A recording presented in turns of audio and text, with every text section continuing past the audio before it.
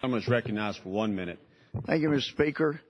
Uh, there are a lot of my Republican friends that have been upset with the comments of Jonathan Gruber, like he's quoted accurately as saying that about Obamacare, a lack of transparency is a huge political advantage.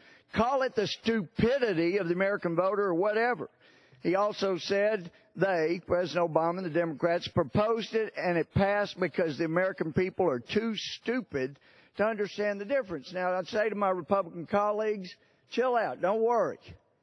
Not a single Republican voted for that bill. Not a single Republican in the Senate voted for that bill. He wasn't talking about Republicans. He wasn't talking about the de- Democrats, independents, or Republicans that voted for Republicans to come to the House or the Senate.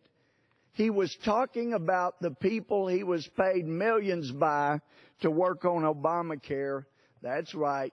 He called the Democrats stupid. He wasn't talking about Republicans. He knew we were smarter than that. I yield back. Gentleman yields back his time. What purpose does the gentleman from New Jersey seek recognition?